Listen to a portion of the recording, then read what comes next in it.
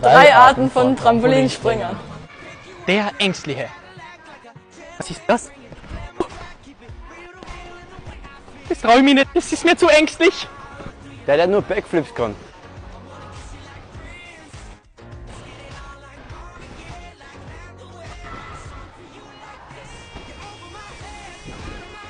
Der Profi.